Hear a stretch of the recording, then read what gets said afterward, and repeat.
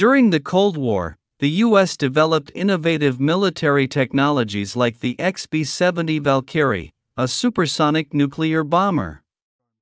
Despite its advanced design, the XB 70 became obsolete due to Soviet anti aircraft advancements, notably the S 75 Dvina SAM and MiG 25 Foxbat. The high costs and emerging Soviet countermeasures led to the program's cancellation. This historical lesson underscores the need for the U.S. to adapt quickly in today's multipolar world, where technological competition with China is intense. Why the U.S. abandoned the XB 70 supersonic bomber? The Cold War was a wild era in the development of military technology, especially in the field of aerospace. From nuclear powered strategic bombers concepts to manned orbital laboratories, MOL, that would have created a permanent military presence in orbit. Some of the craziest and most innovative designs were bandied about, also that the United States could keep ahead of its dreaded Soviet enemy. Some of these concepts even got off the drawing board. Some of these concepts, like the SR 71 Blackbird, made a significant contribution to the national security of the United States, while breaking just about every flying record imaginable. One aircraft in particular continues to boggle the mind. That is the Air Force's concept for what was basically a high altitude, supersonic nuclear bomber.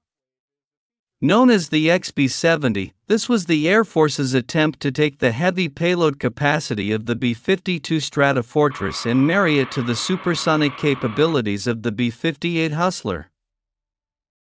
The ride of the XB 70 Valkyrie, cut short.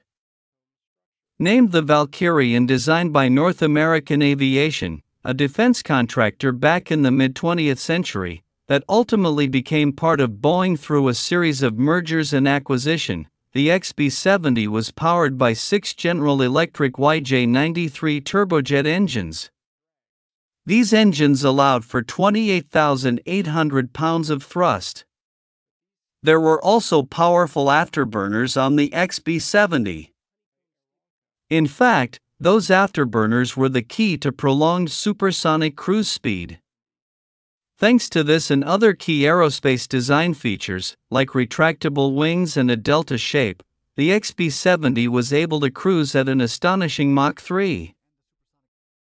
Because of this capability, Air Force planners believed that they had a nuclear bomber that could outrun and outfly anything that the Soviets possessed. Sadly, the XB 70 was obsolete before it ever took flight. That's because the Soviets developed an anti aircraft weapons system that could destroy even the Mach 3 flying XB 70, making whatever other capabilities the bird possessed worthless. In 1955, when her designers first conceived of her, there was nothing in the Soviets' arsenal that could counter the capabilities that the Valkyrie was bringing to any potential fight. The Soviets were so scared of what this strategic bomber could do that they dedicated immense resources to developing and deploying countermeasures against her. The Soviet S 75 Dvina surface to air missile, SAM, had been in development for seven years and came online just when the Valkyrie was set to take flight in 1964. It was more than a match for matching the XB 70. Not only was the S 75 Dvina SAM system operational by the time the Valkyrie was ready to hit the skies, but so too was the Soviets' fastest fighter interceptor to date. The MiG 25 Foxbat. This warplane was specifically designed with the XB 70 in mind. Thus, Whatever nuclear bomb capabilities the XB 70 possessed and whatever threat this system was designed to pose to the Soviet Union was negated before the Valkyrie even deployed.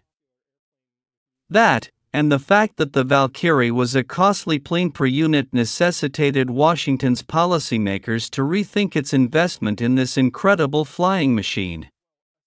As early as 1961, the Kennedy administration recognized the risk posed to the Valkyrie was greater than whatever benefits the plane provided. So, the Kennedy administration opted to reduce the U.S. government's commitment to the bird and relegated it to the design phase, drastically cutting its budget and the commitment of the Department of Defense to the Valkyrie program. In 1961, the government had spent $800 million on the program, which is the equivalent of about $7.8 billion in today's dollars. It was all waste, as it turned out. The Soviets were, back in the 1950s and 60s, a true peer competitor. Despite whatever one may think about Russia today, and most so called experts get Russia totally wrong today, it is a mistake to believe that the Soviets of yesteryear were backward or incompetent. They had a strong scientific base and skilled engineers. Toward the end of the Cold War, as the Soviet system was collapsing, that changed. But at the time the XB 70 was in development, the Soviets were keeping pace with their American rivals.